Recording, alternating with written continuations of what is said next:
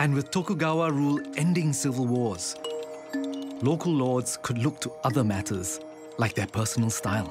Welcome to Watch Mojo, and today we're counting down fascinating or lesser known facts about the culture, habits, and history of Japan's renowned warriors, the samurai. He called in the best smiths of Japan and had them restudy all sword making methods of the past. Number 20, female samurai. Known as Onna Bugeisha, women played significant roles in Japan's feudal history, sometimes standing shoulder to shoulder with their male counterparts on the battlefield.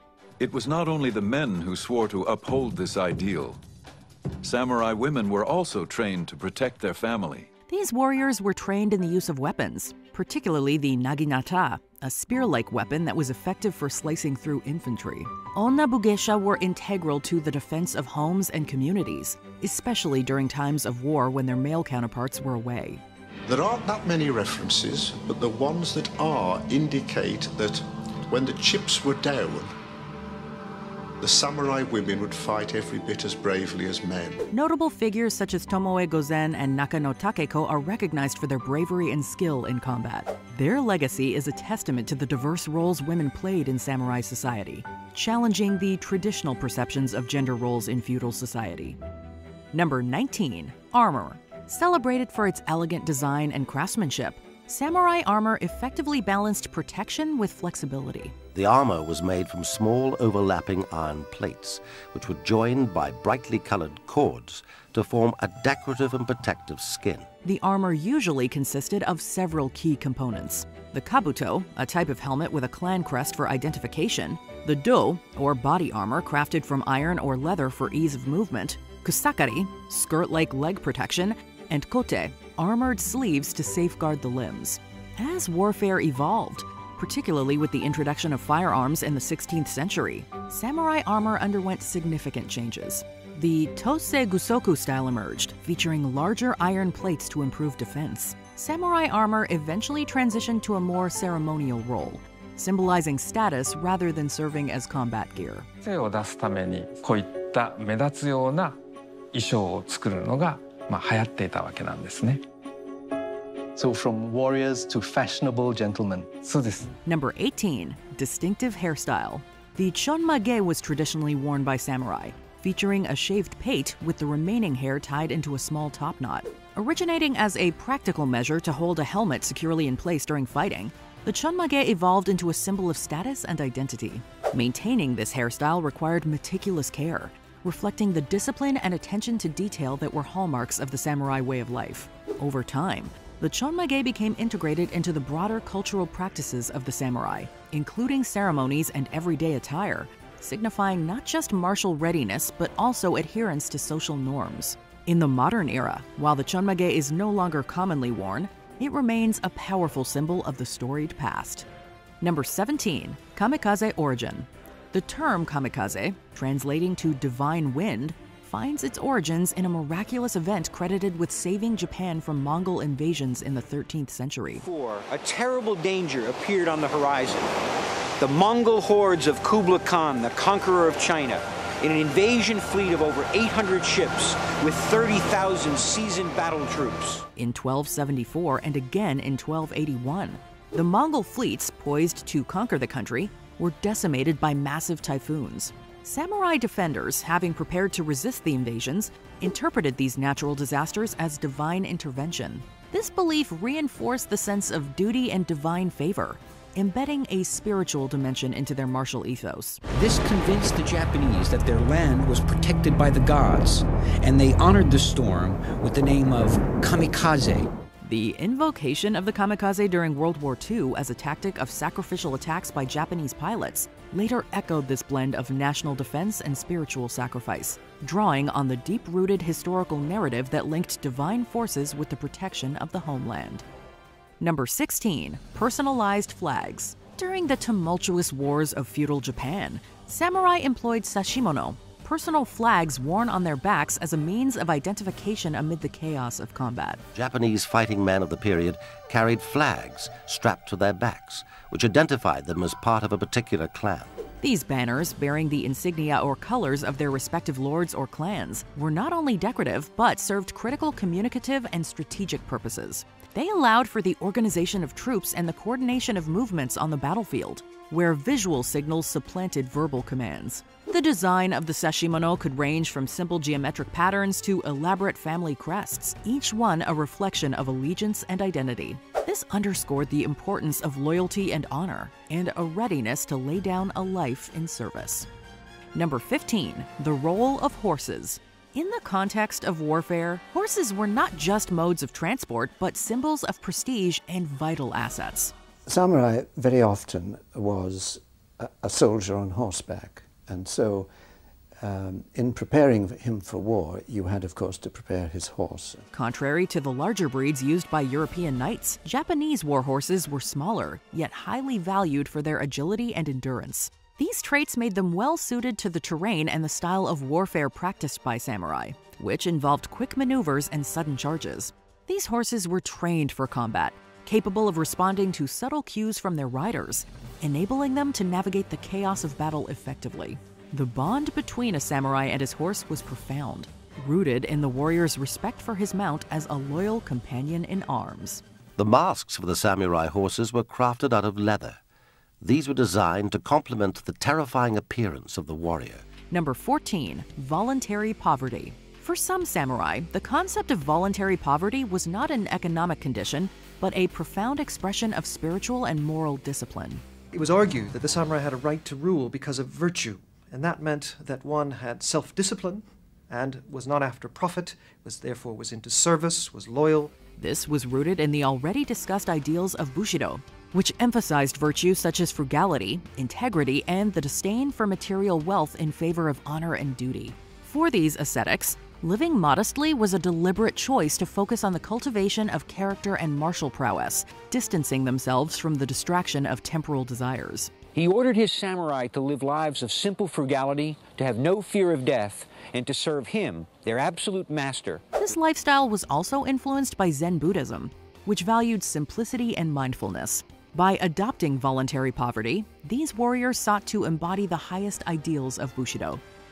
Number 13, financial distress. By the late Edo period, the samurai faced significant economic challenges, leading many into severe financial distress. This downturn was precipitated by a prolonged era of peace under the Tokugawa shogunate, which diminished the traditional roles as warriors and administrators. During this period, called the Edo period, the samurai became an urban class, moving from the country into the castle towns and cities. With no wars to fight and their bureaucratic positions becoming increasingly ceremonial, many found themselves with reduced stipends or entirely without income. Simultaneously, the rise of the merchant class and the flourishing of the cash economy further marginalized samurai, who were traditionally paid in rice and forbidden from engaging in trade. The resulting financial strain led some to sell their swords, take up farming, or pursue other non martial paths to sustain themselves. And if the samurai were to survive, they needed to redefine their role in society. Number 12 From Foot Soldiers to Nobility. The journey from mere foot soldiers to a dominant class of nobility underscores a significant evolution within Japanese society. Initially, in the Heian period from 794 to 1185, samurai were low ranking warriors employed by the nobility for protection and to enforce their authority. The samurai defended his home and family, but his true glory came on the battlefield, defending his lord against enemies. Over time, as their military significance grew, so did their social standing and power. By the following Kamakura period, they had established themselves as distinct, with their own customs, culture, and governance systems. Their ascendancy was marked by the establishment of the shogunate, a military government led by a shogun, which effectively ruled the nation for much of its history until the Meiji Restoration in 1868. Yoritomo became shogun, military dictator, the first samurai ruler of Japan. Number 11, leaving swords at the door.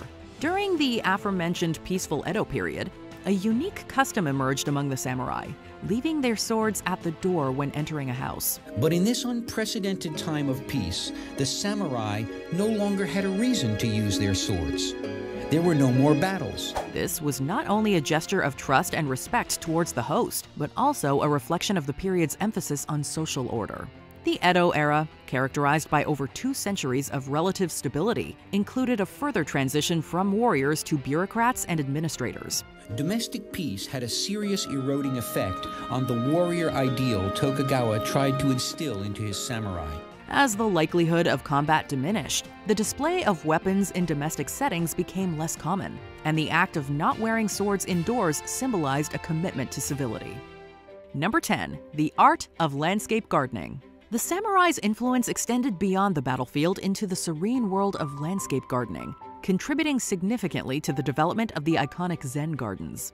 Japanese gardens reflect all the harmonious aspects of society with a sense of ordered, elegant formality. These gardens, designed with meticulous attention to detail and profound philosophical underpinnings, reflect a deep connection with nature and their pursuit of spiritual contemplation. The aesthetic principles guiding these gardens, simplicity, elegance, and the symbolic representation of natural landscapes, mirrored the cherished values of discipline, restraint, and aesthetic refinement. The gardens included a balance of water, stones, and bridges, and their formal nature still reflects Japanese society today. Through the art of gardening, swordsmen found a peaceful counterbalance to their martial duties. Number 9. Commitment to Education. Education extended well beyond the mastery of martial arts to encompass a broad array of scholarly pursuits. This commitment to learning was integral to the samurai ethos, reflecting the ideal of bunbu ryodo, the pen and the sword in accord. He probably had a very stoic, Spartan kind of education, taught military skills, martial arts, and Chinese classics, Japanese classics. Warriors were expected to be as proficient in calligraphy, literature, and philosophy as they were in swordsmanship and archery. The study of Confucian classics, which emphasized ethics, governance, and personal virtue, was particularly revered, shaping the moral and intellectual foundation of the caste. Additionally, many samurai engaged in the study of Zen Buddhism, which influenced their approaches to combat and daily life with its principles of mindfulness and detachment. They were taught the Zen Buddhist belief that life is but a brief illusion, a flash of lightning, a bubble in a stream. Number 8. Blackening Teeth. Among noble classes, Ohaguro, or teeth blackening, was a significant cultural and aesthetic tradition. And she would adopt traditional older samurai ways, one of which was painting their teeth black, which was at one time a fashionable practice for married women. This process involved applying a dye made from iron filings and vinegar, sometimes mixed with other substances, to the teeth, resulting in a distinctive black appearance. Far from being simply cosmetic, Ohaguro symbolized maturity, beauty, and civilization. It was often done as part of coming of age ceremonies for both men and women. Additionally, in the context of the samurai, it served as a marker of social status, distinguishing the caste from commoners and signifying readiness for marriage. This gradually fell out of favor in the Meiji era, as Japan adopted more westernized notions of beauty and sophistication. Number 7. Tea Ceremony Masters. Mastery over the art of the tea ceremony, or chanoyu, was highly esteemed, embodying the principles of harmony, respect, purity, and tranquility. During the peaceful rule of Yoshimitsu and his successors, the tea ceremony developed. This ceremonial practice, involving the preparation and presentation of matcha, powdered green tea, was more than a social or leisure activity. It was a spiritual and philosophical pursuit that mirrored dedication to discipline and self refinement. Influential tea masters emphasized the aesthetic of wabi sabi, finding beauty in simplicity and imperfection, which resonated deeply with the samurai ethos. As the tea ceremony celebrates the beauty and tranquility of everyday life, so Yoshimitsu's life was lived in peace. Through the tea ceremony, samurai cultivated patience, attentiveness, and a deeper connection to the transient nature of existence. Number 6. Meiji Restoration. In 1868, Japan underwent a significant transformation with the Meiji Restoration, leading to the dismantling of the feudal system. Newly installed in power, the emperor was renamed Meiji, or Enlightened Rule. He became the symbol for a new Japan that would transform itself. This period marked the country's rapid modernization and westernization, introducing a conscripted national army and abolishing traditional privileges and stipends. Many former samurai became influential in the new government structure, contributing their skills to the administration, military, and educational reforms. There were those who rose to the top and adapted themselves to a new role, and that role could be as administrators or as school teachers. The transition wasn't seamless. It sparked the Satsuma Rebellion in 1877, a samurai led resistance against the new imperial rule. However, the rebellion's failure further solidified the end of the era, as the country moved towards industrialization and centralized governance. Number 5. Theatrical Tradition Noh theater, a classical Japanese dance drama performed since the 14th century, was deeply intertwined with the samurai class during the Tokugawa period.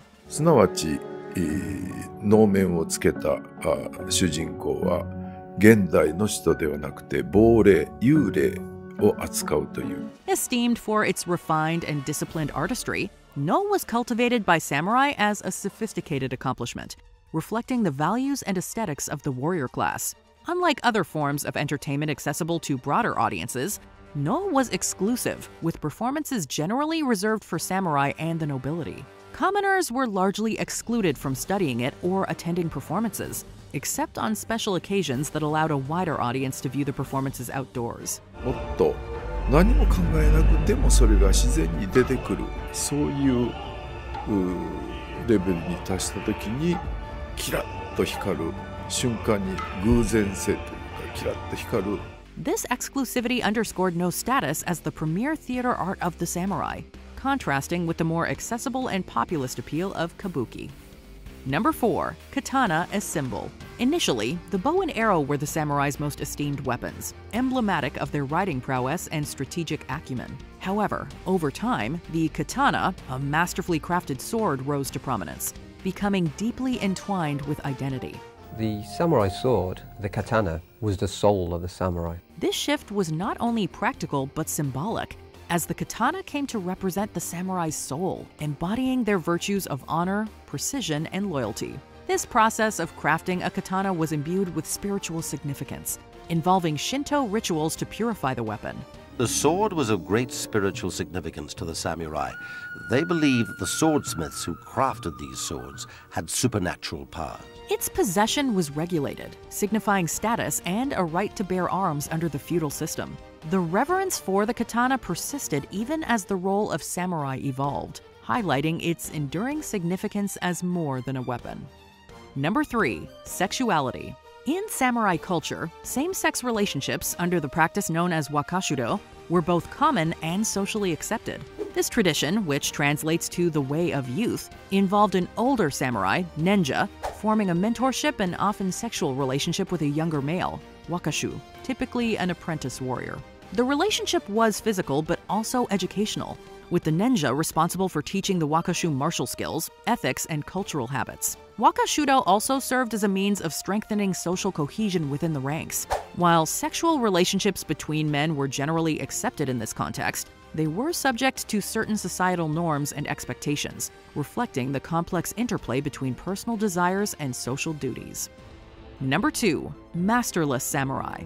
Ronin, or samurai who had lost their lords or found themselves without a master due to various circumstances, such as dismissal, the fall of their clan, or the death of their lord, occupied a unique and precarious position in society. In the cult of the Ronin, the masterless samurai, the one who uh, maintains this fierceness, but with, without seeking essentially training, but also seeking a master to, to, to, uh, to, to follow, to serve. Without the support and status provided by their feudal lord, Ronin faced social stigma and financial hardship, living on the margins of the caste. Despite these challenges, Ronin were not without their own opportunities and could become mercenaries, bodyguards, or even adventurers. The tale of the 47 Ronin is perhaps the most famous story, epitomizing the Ronin's enduring loyalty and commitment to the samurai code of honor, even in the absence of a lord. A story that has become one of the defining legends of Japanese culture, told and retold in countless books, plays, and movies. Before we continue, be sure to subscribe to our channel and ring the bell to get notified about our latest videos. You have the option to be notified for occasional videos or all of them. If you're on your phone, make sure you go into your settings and switch on notifications. Number 1. Nanban Trade Meaning southern barbarian, Nanban was a term that eventually referred to Europeans, notably the Portuguese, who arrived in Japan in the 16th century. This era was characterized by significant interactions between the samurai led society and the Western world. The first visits by the Portuguese in the mid 16th century were closely followed by British and Dutch traders half a century later, who brought with them exciting new goods like this armor. The arrival of the Nanban introduced new military technologies, including firearms, which were incorporated into warfare tactics, forever altering the dynamics of the nation's history. The period also saw the samurai engaging with Christianity, leading to complex socio political ramifications. European ships are welcomed by some local rulers, but also bring problems for the central government in the form of missionaries who teach commoners and samurai alike of a religion contesting the authority of the Tokugawa shogunate. Although the Nanban trade offered access to novel goods and ideas, it eventually prompted the Tokugawa shogunate to enforce national isolation, or sakoku, seeking to preserve traditional culture and the samurai's predominant social status. Are there any other facts about samurai that could be on this list? Let us know in the comments. Much like his protective armor, a warrior's refined appearance concealed his impenetrable inner core. This ethic, preserved in writings of the samurai, would prepare the warrior to meet life and death with honor. Did you enjoy this video? Check out these other clips from WatchMojo, and be sure to subscribe and ring the bell to be notified about our latest videos.